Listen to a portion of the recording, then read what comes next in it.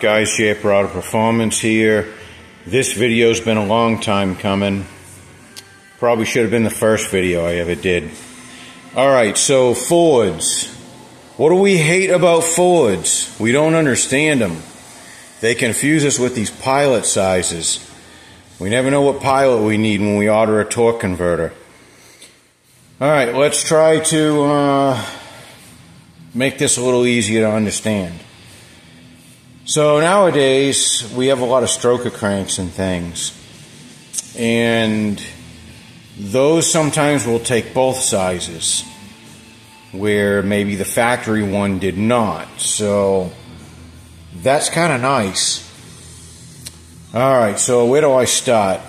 All right, so if you have a, this is a factory 12 inch converter, and if you have a small block Ford, 289, 302, 351 Windsor, 351 Cleveland, uh, any of those guys, uh, also 351M, 400M, they're all going to take this one here. This is the 1.375 diameter pilot. And if you look here, I'm going to measure measures, you know, just a couple thou under. So one and three eighths. Now, here's what's confusing to people. Well, let me show you the other one. Then if you have, this is mainly on your FE motors.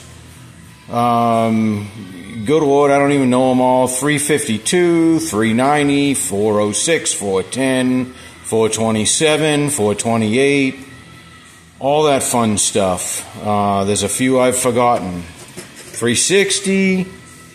This is going to have the 1.848 pilot. So we measure this here just to show you. And you can see that. Okay, just about 1.848. All right, now, here's what messes people up. Besides that, sometimes, you know, I'll ask a customer, okay, uh, what pilot do you need? You know, like, okay, let's say on a motor, this is where it gets confusing. So pretty much your FE motors are going to take the big one. All your small block motors are going to take the small one, the 1.375, FE 1.848. That's pretty safe bet. Unless you have a stroker crank I'll get that get to that in a minute. What's confusing is our 385 series engines, our 429, 460 motors that are very popular these days. They can have either one. I think in general the 429 had this one, the 1.848.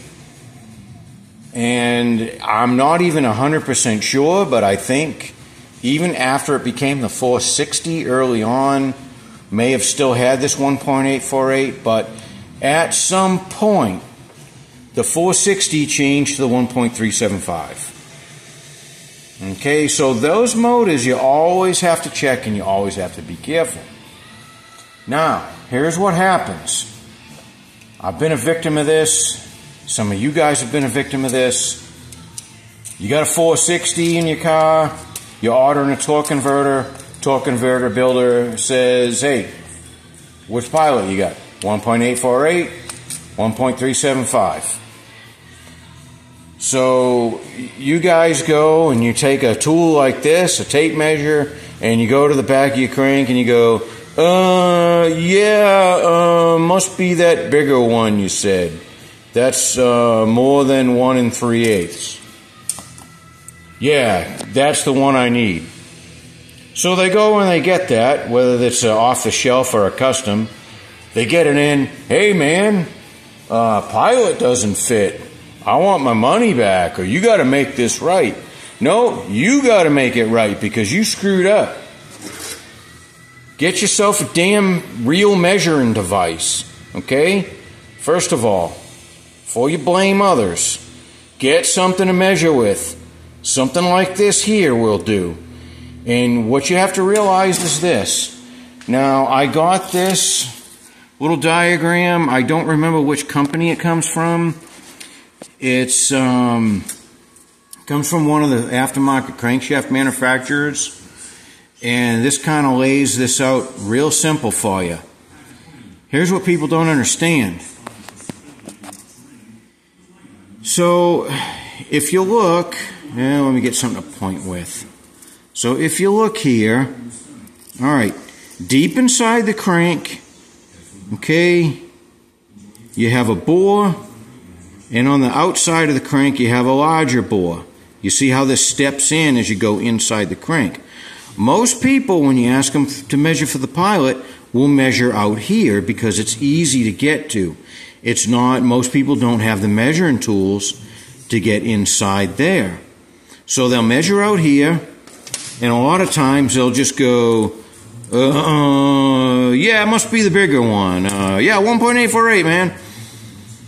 Well, it's probably not, it's not necessarily that. You got to accurately measure that because it could be, it could be, I've seen them as little as five thou under that, or, you know, it could be a hundred thou under that, whatever.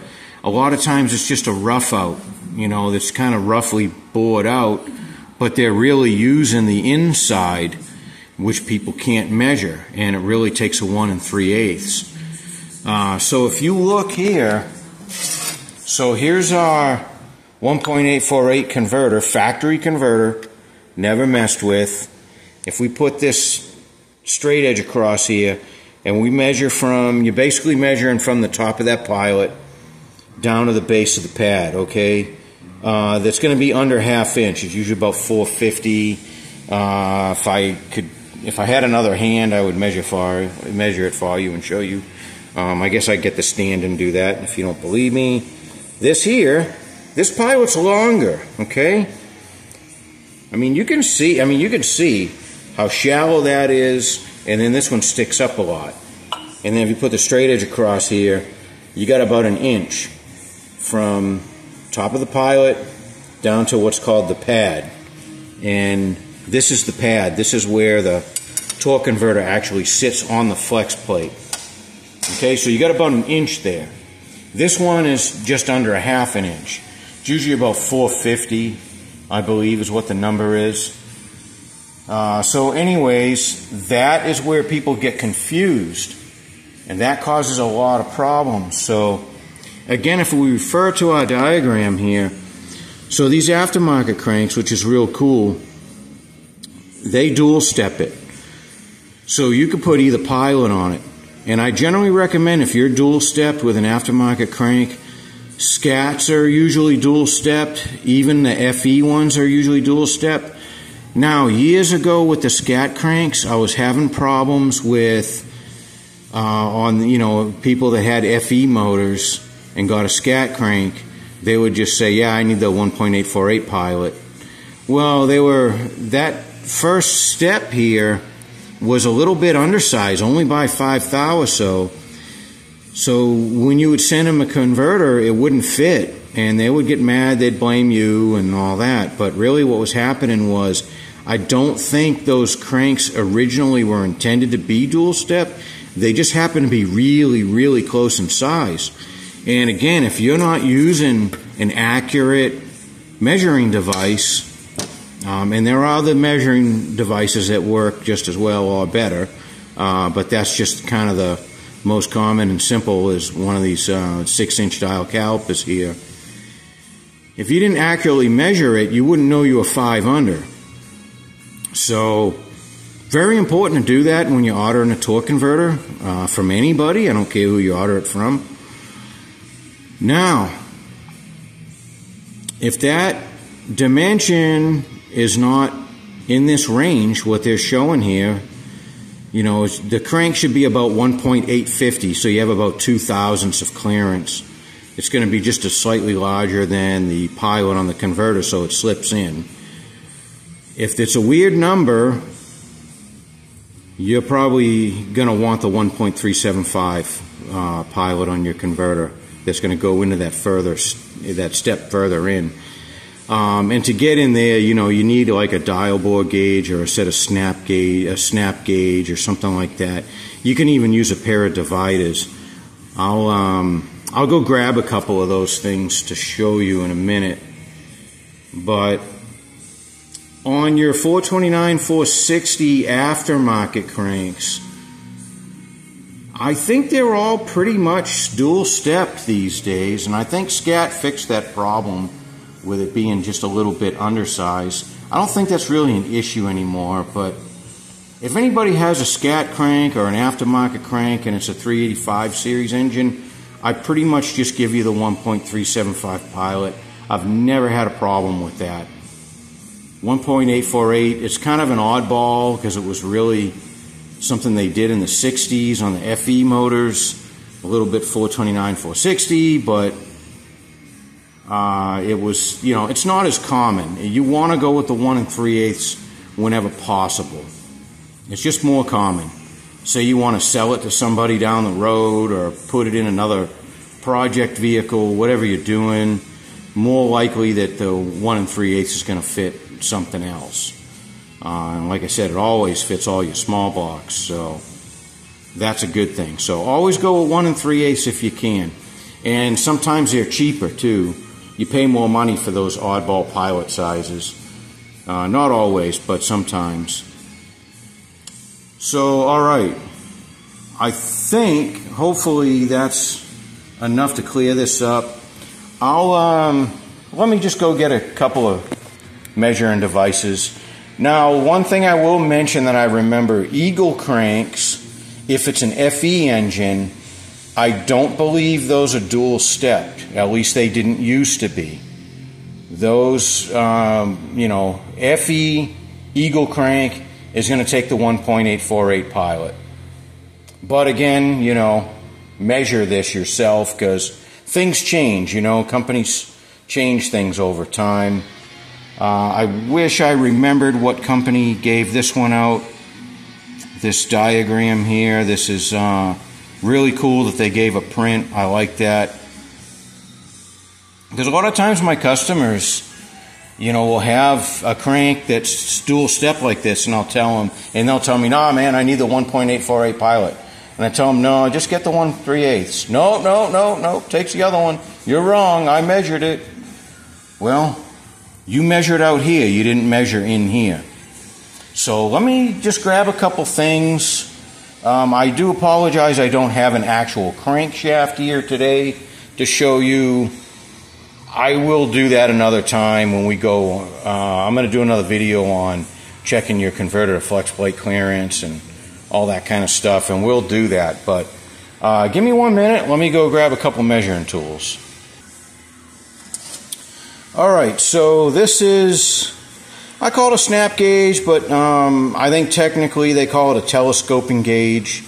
And what you do is you you push you know you push these in, you stick it inside the bore, and then you let them spring out, and then there's a you tighten this, and then what you do is you you kind of hold it at a bit of an angle, and then you rock it, and then it'll set these to the inside diameter of that bore, and then you'll just take your calipers and measure them like this.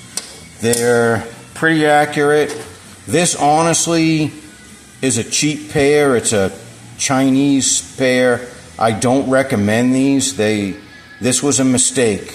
Uh, me buying these. I bought the I bought this you know a set of these many years ago when I really didn't have much money and it was a mistake. It's you know sometimes cheap Chinese stuff does not work out. So um, I don't use them a whole lot, but for what I do.